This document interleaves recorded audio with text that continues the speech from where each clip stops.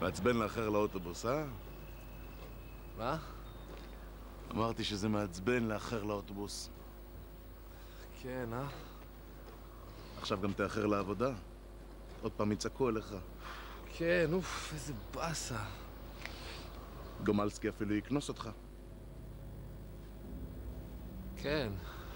וזאת לא אשמתך בכלל. האוטובוס הקדים. איך אתה יודע?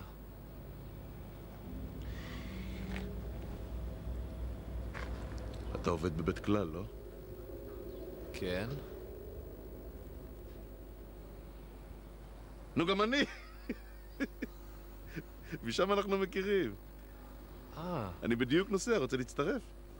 כן, כן, וואי, איזה יופי. ת- תודה, זה ממש נחמד מצידך. כן. אבל אתה יודע, זה לא יקרה אם לא תיתן לי משהו בתמורה.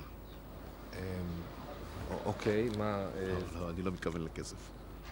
אה, אמ, אז אני סטרייט. ברור.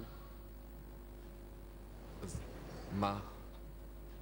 אני רוצה שבתמורה לזה שאני אסיע אותך עכשיו לעבודה, אתה תיתן לי את הנשמה שלך.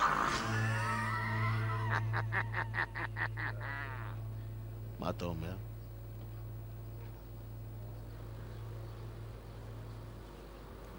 נראה לי שאני אחכה לאוטובוס הבא. אתה בטוח? כי אתה תאחר.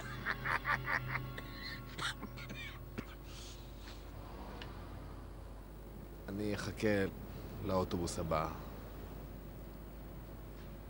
טוב. איך שאתה רוצה.